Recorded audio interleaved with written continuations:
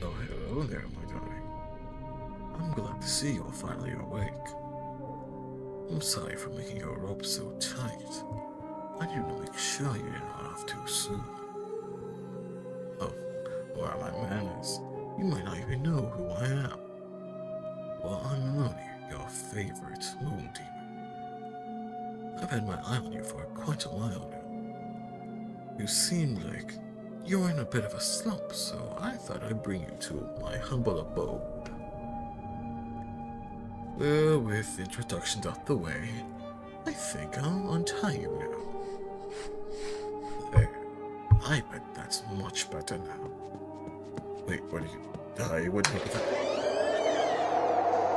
Well, I did try to warn you. As you can see, we are on the moon. As I said before, I am the moon demon.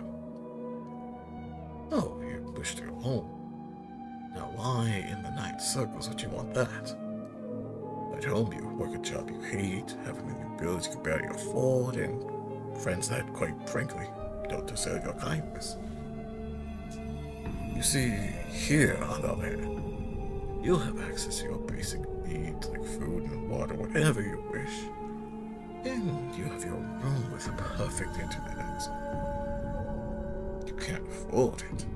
Oh, tell it, no. It's all free for you. Except for one little thing. All I need is your soul. Do we have a deal?